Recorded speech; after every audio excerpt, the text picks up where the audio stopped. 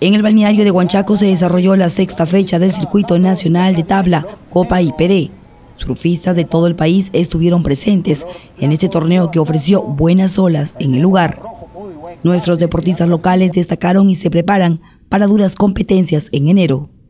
También eh, hay buenas olas, nos están acompañando, eh, hay buen nivel, hay buenos competidores, han venido la mayoría de surfistas que van liderando el ranking, el circuito y, todos son buenos, eh, no está nada fácil y hay que dejar todo en la cancha. Ahora acabo de llegar de viaje, de las competencias y un poco que me ha agarrado el cambio de clima, pero aquí estoy.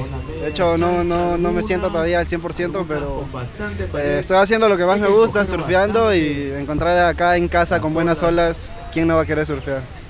Este circuito nacional es uno de los más, este, más fuertes que hay, porque viene competidores de Lima, eh, Máncora y toda parte del Perú, de la costa.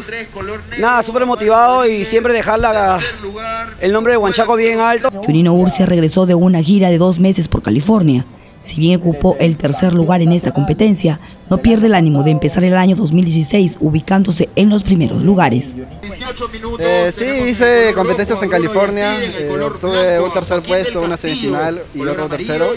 Eh, fueron eventos de California invitacionales gran nivel, una buena experiencia, estuve dos meses aprendiendo el idioma también. y estuve entrenando. Ahora, luego de este evento me voy a preparar para Portugal en enero, se viene la final del, Mundial Junior. Y espero dar lo mejor, está preparado también.